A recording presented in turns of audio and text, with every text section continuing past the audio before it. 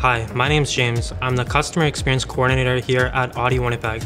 Uh, so for me, my favorite Audi is the 2021 Audi RS6 Avant. Uh, simply for the performance, it's got a twin turbocharged V8 that makes 591 horsepower and 590 torque, does 0 to 60 in 3.1 seconds, and it's a wagon, so what's not to love?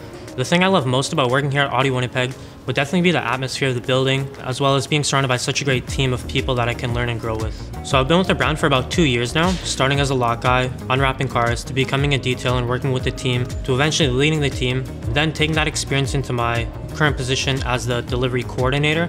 I'm excited to grow with the brand and see where this new position will take me. So when I'm not at work, I really enjoy staying active by lifting weights in the gym, and then through the gym, I really fell in love with cooking and eating healthy. One thing that many people don't know about me is that I'm a big supporter in keeping the manuals alive. I just love the connection between car and driver that you get with the manual. I currently drive a 2013 S4 and with it being manual, it really heightens every aspect of the car, especially the sense of speed you feel in each gear, and that's something you just don't get in an automatic. Thanks for taking the time to get to know me. I look forward to meeting and getting to know you next time you visit Audi Winnipeg.